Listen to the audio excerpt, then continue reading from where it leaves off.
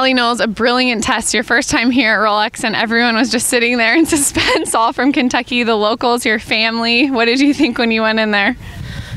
I didn't. I didn't. I didn't look up. I just looked at my horse and I thought, this is just another arena. Look at the court. Like, I literally did not look up. I thought, just keep this simple. Keep it simple.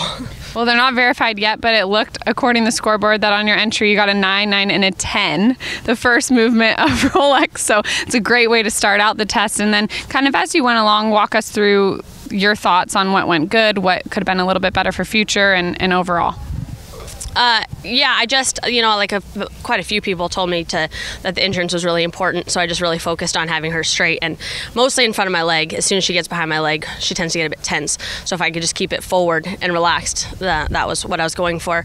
You know, always taking another second in the turn, keeping her a little bit softer in her pull, like you know things like that would be I guess what I would work on next time. But I just went movement by movement and said just stay in here as long as you can. Take your time and have as big and slow of a trot as you can and and she didn't seem to look up and like we just stayed kind of like in our own little world. And flying changes would be our hardest thing that we've always struggled with. And so you know the first two I was really happy with, and then I knew in the in the serpentine she was starting to get a little bit tense, and uh, she was good for the third one, and then got really nervous, and I just you know it, we totally missed it, and I thought well it's been pretty good to this point. Why don't we just walk and you know and say bag that one? No, no big deal. I'll let that one go, and uh, and not worry about it too much, and then say okay, now we're back on the center line and and make a good closing statement as well. So, I I wouldn't have changed a whole lot about her disposition. She was pretty incredible. Well, 43 will be your score for the day. That's pretty phenomenal. And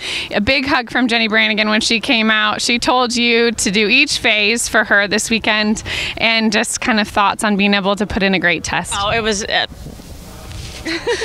that one's a tough one for me.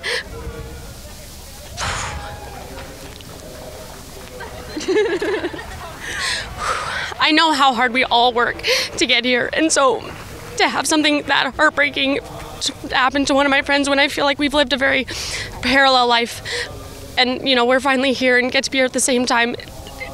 I was devastated this morning when I heard. So yeah I actually did you know think about her and said her name in my head and I was like this is for you and you know tried to give it give it my all and it, it really hurts that you can't do this. It kills me. So